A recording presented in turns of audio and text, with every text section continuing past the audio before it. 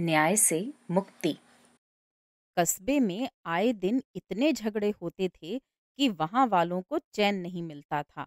रोज दौड़ दौड़ कर शहर जाते, वकीलों की जेब भरते और फिर नए मुकदमे की तैयारी करने लगते। कई बार उन लोगों ने मिलकर इस समस्या का समाधान सोचा पर कुछ न सूझा। झगड़े खत्म होने का नाम ही न लेते थे। आखिरकार कस्बे वालों ने मिलकर यह तय किया कि अपने झगड़े वे खुद ही निपटाया करेंगे। इस तरह वे अपना झगड़ा भी तय कर लेंगे और कस्बे का पैसा बाहर भी नहीं जाएगा। बहुत कोशिश के बावजूद कस्बे का कोई आदमी जज बनने के लिए तैयार न हुआ।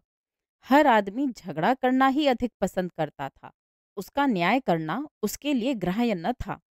कस्बे वाले अपने कस्बे में किसी को जज के काम के लिए राज़ी न पाकर पास के गाँव से एक खाली आदमी पकड़ लाए और उसे खाने कपड़े पर अपने कस्बे का जज बना दिया।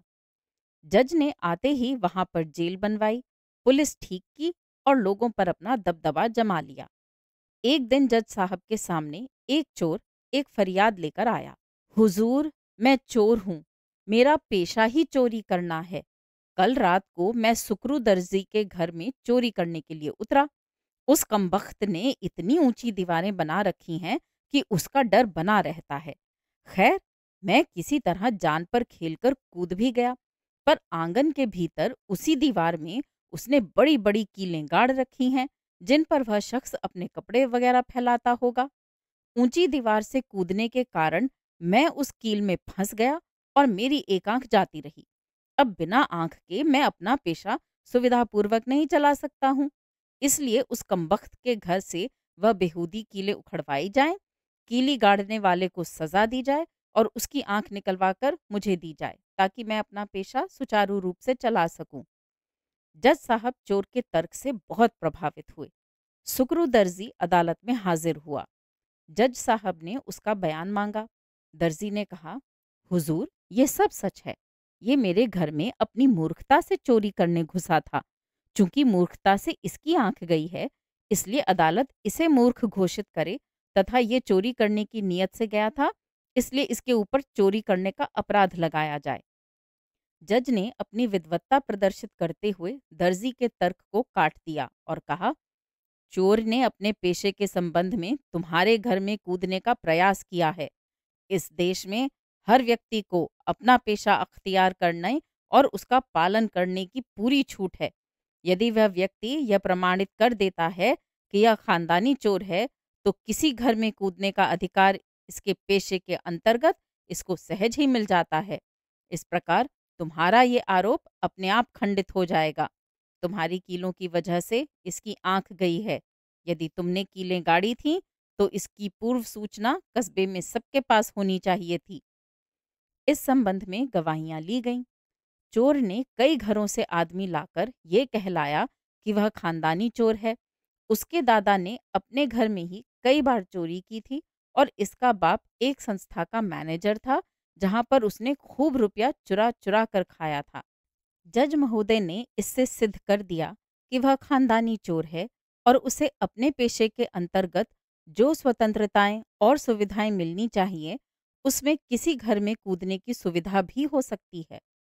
दर्जी ने कीली गाड़ने के विषय में पूर्व जानकारी के संबंध में गवाहियाँ एकत्र करनी चाहिए पर वह न हो सकी, क्योंकि बहुत से ऐसे लोग निकल आए, जो ये कहते थे कि उन्हें दर्जी द्वारा अपने घर में कीली गाड़ने की पूर्व जानकारी न थी। जज महोदय ने सारे मामले को बहुत ध्यानपूर्वक सुना, फिर अपना निर्णय गंभीरतापूर्वक सुना दिया। चोर मूर्ख है, ये सिद्ध है, क्योंकि यह बिना पूर्व जानकारी के दूसरे के घर में चोरी करने के लिए कूदता है। इस प्रकार के मूर्खतापूर्ण आचरण के लिए इसके ऊपर दस रुपया जुर्माना किया जाता है। जब तक ये दूसरों के घरों की पूरी जानकारी हासिल न कर ले, यह पेशा चालू करने पर अदालत रोक लगाती है। और चूँकि वह दर्जी अपने घर में इतना बेखबर होकर सोता है, जबकि इसके घर में दूसरों के कपड़े रहते हैं, इसलिए दर्जी पर दस रुपया जुर्माना किया जाता है।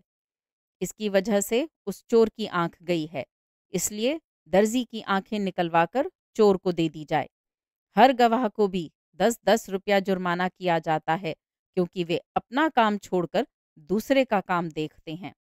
निर्णय सुनकर वादी, प्रतिवादी और गवाह सब त्राही त्राही करने लगे। उसने कहा कि उसकी रोजी कपड़ा सिलने से ही चलती है। यदि आँख चली गई तो उसकी रोजी खत्म हो गई। दर्जी की बात सुनकर सब कस्बे वाले हम्म हम्म करने लगे। दर्जी ने कहा कि कस्बे में एक शिकारी ठाकुर रहते हैं। वे एक आँख बंद करके ही सदा बंदूक चलाते हैं।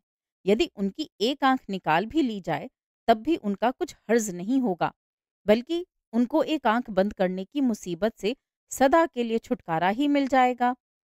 जज साहब इस सुझाव से बहुत प्रभावित हुए और उन्होंने उस शिकारी की आँख निकलवाकर चोर को दे देने का प्रस्ताव मान लिया। शिकारी ठाकुर बुलाया गया।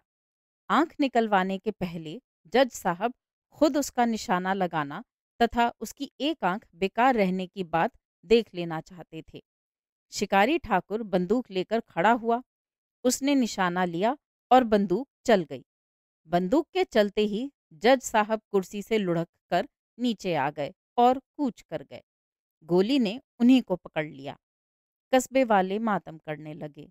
न्याय करते हुए न्यायमूर्ति की मृत्यु हो गई।